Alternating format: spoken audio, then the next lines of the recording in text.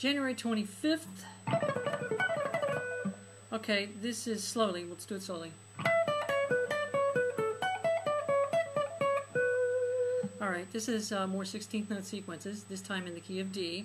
Starting up here on the E on the second string 17th fret, I, uh, and then I descend, that's descending from E down to the B. And then from D, D, C sharp, B to A. And then I move up here to the F sharp with my little finger on the second string. And notice I go F sharp, E, D, and I come down with my index finger on the C sharp. And then from the E. It's pretty simple. Um, 16th note sequences, they work really well. Sound good.